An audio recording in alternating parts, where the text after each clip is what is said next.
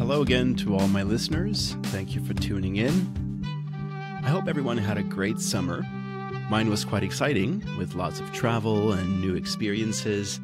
And now I'm back and ready to start recording again. So here's an update on the Reasoned Intuitions podcast. Season 2 is just around the corner. I've been busy coming up with new ideas and writing them down, and you'll get to hear the first one in just a few days. To give you a taste of things to come, here are some of the topics I've been mulling over. The ethics of sport hunting. Could activism be a necessary evil?